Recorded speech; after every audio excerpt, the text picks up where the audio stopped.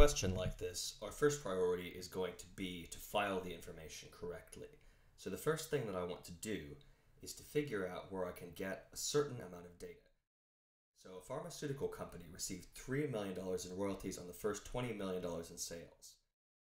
So this to me reads as 3 over 20, which is the values that we need to use. And you could forget about the million here because everything's in terms of millions.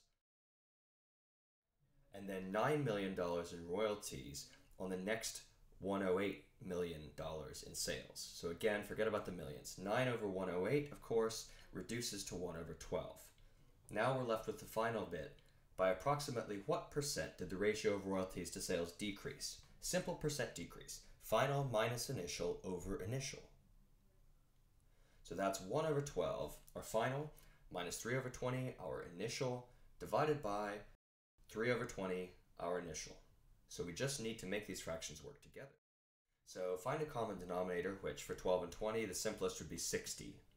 So 5 over 60 minus 9 over 60 divided by 3 over 20. So when we subtract, we're going to find 5 over 60 minus 9 over 60 is minus 4 over 60. Divide that by 3 over 20 is the same as multiplying by 20 over 3. So we can reduce this, and that will give us minus 4 over 9. Because there's a negative in front, that indicates that it's a decrease. We're looking for the decrease. Minus 4 over 9 is equivalent of minus 0.4 repeating. So we can take that to be 45% decrease.